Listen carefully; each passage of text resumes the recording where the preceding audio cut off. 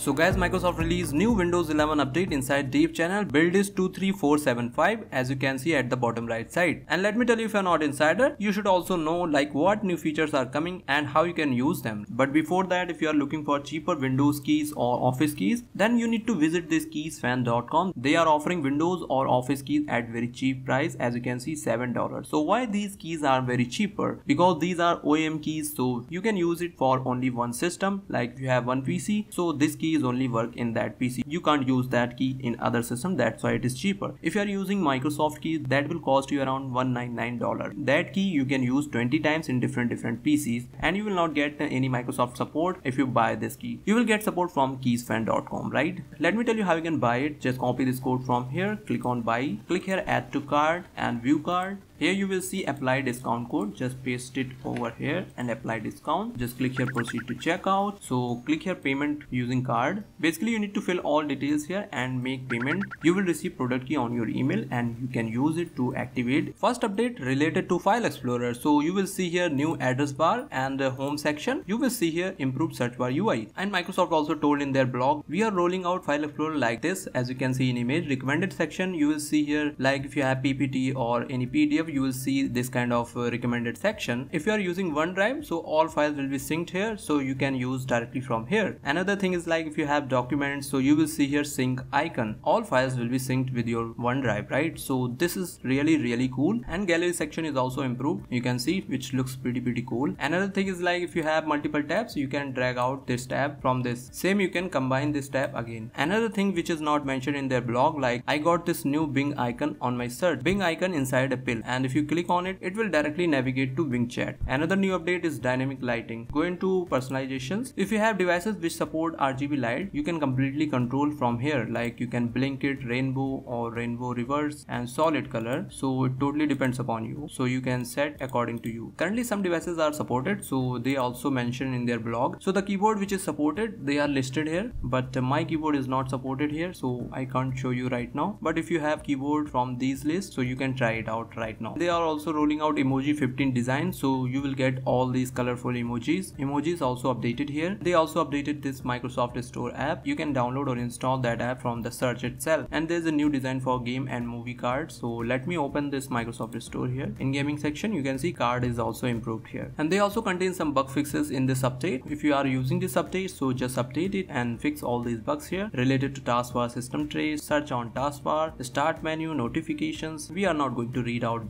right? So okay guys that's it for this update. I hope you like this update. So let me know in the comments what's your thoughts